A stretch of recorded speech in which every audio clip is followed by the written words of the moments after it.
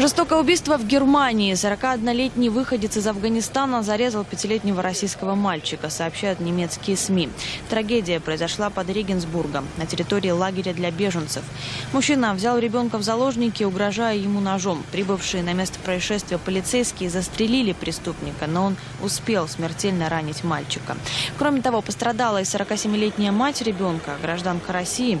Ранение у нее серьезные, но, по словам врачей, пациентка выживет. Шестилетний брат убитого ребенка не пострадал. Мотивы жестокости мигранта из Афганистана неизвестны.